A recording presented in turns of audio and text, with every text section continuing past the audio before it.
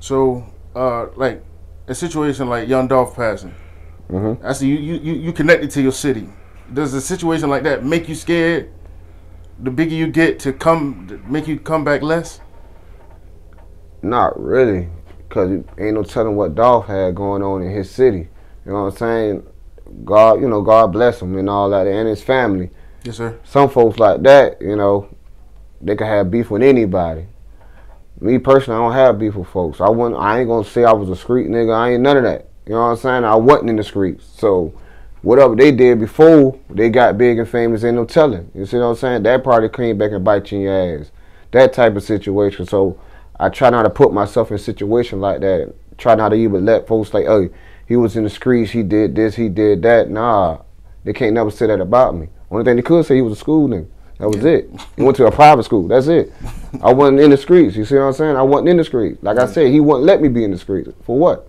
Yeah. You see what I'm saying? So, do you feel like, as an artist, like any artist, do you feel like they can have one foot in and one foot out the streets dealing with music? Nah, it can't. It, it- it's not possible because the first thing they're gonna do is rap about it. The first thing they do is gonna rap about it. You know what I'm saying?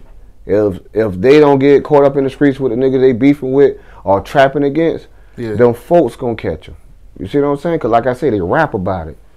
Anytime they get in the beat, they rap about how much they done sold, how much they done did. All rappers ain't liars.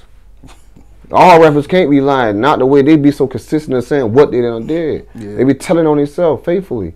Some niggas are going live. Why is they doing it? Like, damn. Nigga, what you trying to do? You know what I'm saying? You trying to catch yourself up? And the first thing you're gonna say, like, man, y'all niggas some snitches. you told on yourself. You see what I'm saying? That's that's how it be. Yeah. Yeah, so nah. They got they gotta pick and choose which one they wanna do. Cause shit like shit like even as a DJ, ain't even gotta be an artist. As a DJ, I had to pick and choose which one I wanna do. Like, damn, I want some money.